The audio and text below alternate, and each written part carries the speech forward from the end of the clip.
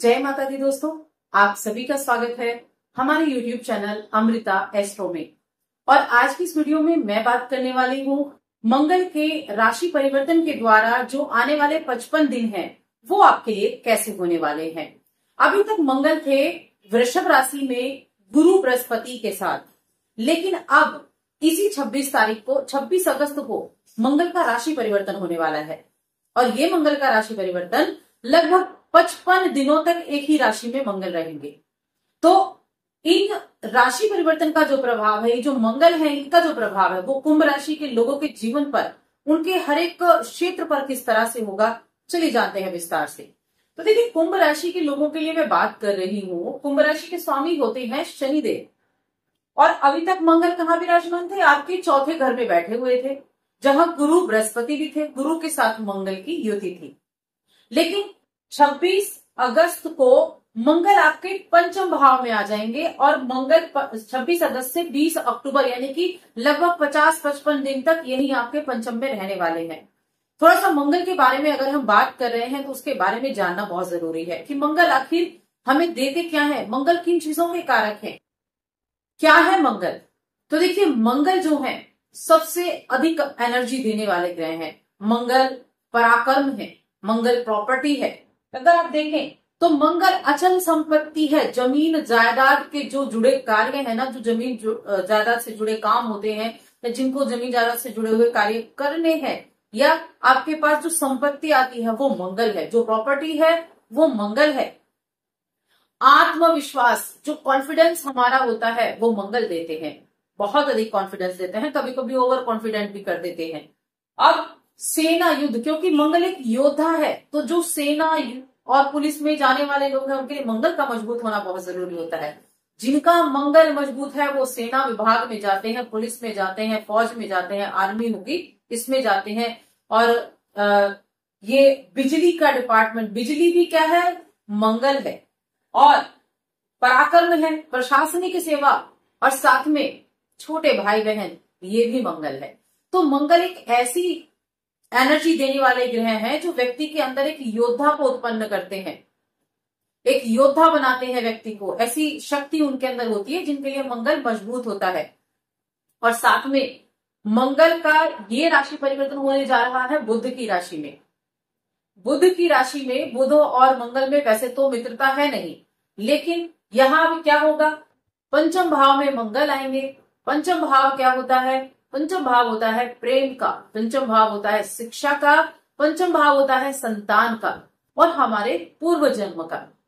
मंगल यहाँ पचास, पचपन दिन बैठकर आपके तीन भावों पर दृष्टि डालेंगे। मंगल की दृष्टि बड़ी कमाल की होती है।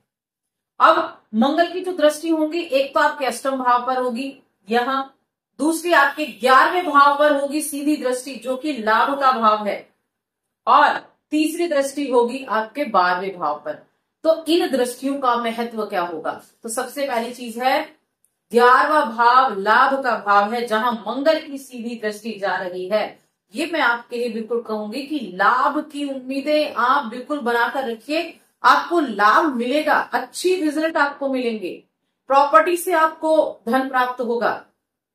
जो इच्छाएँ हैं मन में, उनको आप पूरा करने की तरफ़ मेहनती होंगे, क्योंकि मंगल मेहनत भी देता है। देखिए, मंगल एक ऐसा ही होता है जो क्या करता है? कि आपको काम करना ही करना है, उतावलापन भी देता है, क्योंकि युद्ध है ना, युद्ध निपटाना है, वैसे ही ऐसा उतावलापन देता है कि इस काम को तो करके ही पीछे छोड़ना है। और मंगल आपके दो भावों के कारक है, आपके दो भाव के स्वामी हैं, तीसरा भाव जो छोटे भाई बहन का यात्रा का भाव है, और आपके हार्ड वर्क का भी भाव है। और आपके दसम भाव के स्वामी है जो करियर का भाव होता है। अब ऐसी स्थिति परिस्थिति यहाँ बन गई है कि मंगल आपको ऐसा एक एनर्जी देंगे, ऐसा एक काम करने की हिम्मत भी देंगे कि आप हर डट कर काम करना चाहेंगे, पीछे नहीं हटेंगे। जो काम हाथ में लिया है, उसको काम को पूरा करना चाहेंगे, उस काम को पूरा करेंगे। लेकिन साथ में मंगल एग्रेसिव भी दिखाते हैं। मंगल के अंदर एक गुस्सा भी है, क्रोध भी है तो वो भी तो आपको देखना पड़ेगा। अब सबसे पहले पॉजिटिव चीज़ों की अगर बात करें तो आपका करियर अच्छा रहेगा, अपने करियर के प्रति बहुत अच्छे से समर्पित रहेंगे, अपने काम को पूरा करना चाहेंगे, जो भी हाथ में लिया है। आप अच्छी जॉब प्राप्त कर सकते हैं इस समय अवधि में। आपके लिए लाभ के चांसेस बहुत अच्छे होंगे, क्योंकि मंगल की सीधी दृष्टि लाभ के भाव पर जा रही है। तो लाभ आपको मिलेगा, चाहे वो प्रॉपर्टी से भी लाभ मिलेगा, आपको शेयर मार्केट से भी आपको लाभ मिलेगा, लेकिन किसी भी चीज़ में उतावलापन आपको नहीं दिखाना है। अपनी इच्छाओं को पूरा करना चाहेंगे। आपके छोटे भाई बहनों का सपोर्ट मिलेगा, यहाँ तक कि बड़े भाई बहनों का सपोर्ट मिलेगा। ये मित्र का भाव भी होता है।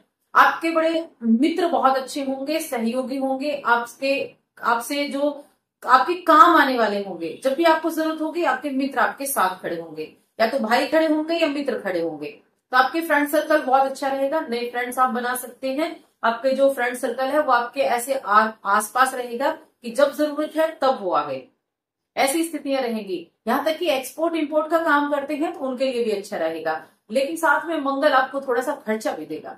तो खर्चे से थोड़ा सा आपको थोड़ा ध्यान रखना है कि खर्चा ज़्यादा ना हो। अष्टम भाव में भी दृष्टि डाल रहे हैं। मंगल तो गुप्त धन की प्राप्ति का योग बनेगा और साथ में गुप्त चीज़ें को सीखने की तरफ़ आपका मन चलेगा। ऑकर्ड साइंस हो गया, तंत्र मंत्र हो गया, ज्योतिष हो गया, ऐसी चीज़ों की तरफ़ आपका मन रहेगा कि कैसे चीज़ें काम करती हैं। आप उनकी तरफ़ जाना चाहेंगे, उन बुक्स को आप पढ़ना चाहेंगे, लेकिन थोड़ी सी सावधानियाँ भी है वाहन सावधानी पूर्वक चलाएँ। कोई भी अगर, कोई भी अगर स्वास्थ्य संबंधी परेशानी होती है तो आप चिकित्सक को दिखाएँ, उसको अवॉइड ना करें, लापरवाही ना करें। लापरवाही करना बहुत भारी पड़ सकता है। संतान के लिए अच्छा है। संतान अगर विदेश जाना चाहती है तो वो ज़रूर ट्राई करे। वहाँ उनको विदेश जाने का मौका मिलेगा। विदेश से जुड़े हुए जो काम करते हैं, उनको अच्छे मौके मिलेंगे। अपने बच्चों के साथ ज़्यादा से ज़्यादा वक्त बिताएँ। अपने बच्चों के साथ जितना आपके पास खाली वक्त है, ऑफ़िस से आते हैं, नौकरी कर रहे हैं बिज़नेस कर रहे हैं, जो आपके पास खाली वक्त है, उस वक्त को अपने बच्चों के साथ बिताएँ। क्योंकि इस समय आपको उनके साथ वक्त बिताना ज़्यादा प्रॉफिटेबल रहेगा आपके बच्चों के लिए। तो उनके साथ, क्योंकि संतान का भाव भी है। तो यहाँ थोड़ा सा आपको यहाँ ध्यान रखने की ज़रूर आवश्यकता होगी। हालाँकि ग्यारहवें भाव के स्वामी आपके चौथे भाव में है। ज़मीन प्रॉपर्टी से अच्छे लाभ की उम्मीदें बनी हुई है। शेयर मार्केट में भी आपके लिए अच्छे रिज़ल्ट यहाँ देखने को मिलेंगे। प्रॉपर्टी से जुड़े हुए कामों में आप इन्वेस्ट कीजिए, अच्छे मिलेंगे।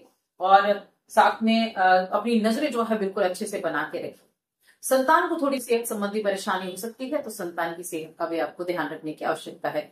रिश्तों की बात करते हैं। प्रेम जीवन में बहुत अच्छे रिज़ल्ट आपको देखने को मिलने वाले हैं। प्रेम आपका बड़ा बढ़ेगा। प्रेम बढ़ेगा आपका। तीसरे भाव के स्वामी और ग्यारहवें भाव का स्वामी, इच्छाओं के भाव के स्वामी आपके पंचम में गए हैं तो प्रेम संबंधी इच्छाएँ पूरी हो सकती हैं। प्रेम विवाह करना चाहते हैं तो ज़रूर चांस ले, ज़रूर घर वालों से बात करें विवाह की बातें पक्की हो सकती हैं। क्योंकि अभी तो सूर्य भी यहाँ है, सूर्य का गोचर फिर आपके अष्टम में हो जाएगा। तो ज़रूर ट्राई करें, आपका बात जो है वो बन सकती है अच्छा समय देख के आप इस बात की ट्राई कर सकते हैं। वैवाहिक जीवन की बात करें तो ठीक ठाक रहेगा, थोड़ा कहीं ना कहीं जो मंगल है, वो कहीं ना कहीं ऐसा रहेगा कि एक ओवर कॉन्फिडेंट आ जाता है, एक एग्रेसिव अपने नेचर में आ जाता है तो उसको थोड़ा मेंटेन करके चलना होगा। इन्वेस्टमेंट करते हैं तो थोड़ा देख कर करें, वैसे इन्वेस्टमेंट से लाभ की उम्मीदें हैं। खर्चा ज़रूर बढ़ता दिख रहा है, खर्चे का थोड़ा ध्यान रखें और हेल्थ का भी ध्यान रखें। बाकी यात्राएँ आपके लिए रहेंगी, छोटी यात्राएँ, लंबी यात्राएँ, यात्राओं का बड़ा अच्छा योग आपके लिए बना हुआ है। ओवरऑल हम देखेंगे तो मंगल का गोचर आपके लिए अच्छा है। छोटी मोटी चीज़ों को आपको बस कंट्रोल करके चलना है। छोटी मोटी चीज़ों को कंट्रोल करेंगे तो अच्छा रहेगा। बाकी आपके बर्थ प्लेस में मंगल की कंडीशन क्या है, वो भी डिपेंड करता है। उपाय ज़रूर करें। उपाय के तौर पर एक तो मिट्टी से बनी हुई जो चीज़ें हैं, घड़ा हो गया या कुछ और हो गया, मिट्टी से बनी हुई चीज़ों का दान अगर गरीबों में करेंगे तो अच्छा रहेगा। या फिर खाने पीने की चीज़ों का दान भी आप कर सकते हैं, ये भी आपके लिए अच्छा रहेगा। बाकी आपको वीडियो कैसी लगी कमेंट करके बताएँ और चैनल पर पहली बार आए हैं तो सब्सक्राइब करके जाएँ। जय माता दी।